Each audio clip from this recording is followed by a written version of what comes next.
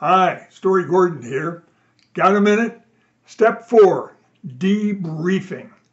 This to me is a critical step, maybe the second most important step in the process. Delivery is, of course, very important. And definition and design are also important. But so many speakers skip the opportunity to improve what they're doing.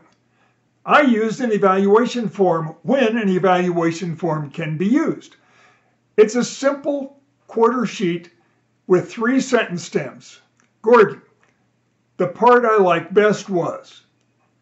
The part I'd like to hear more about was. The part I'd like to hear about in the future is.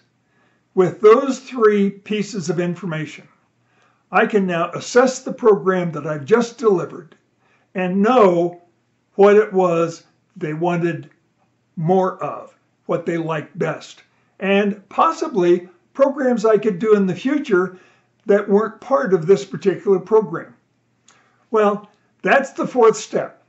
Skip it at your peril because if you don't debrief and try to figure out how to be better, you'll plateau. Well, time's up for this chat. This is Story Gordon saying, I'll see you next time.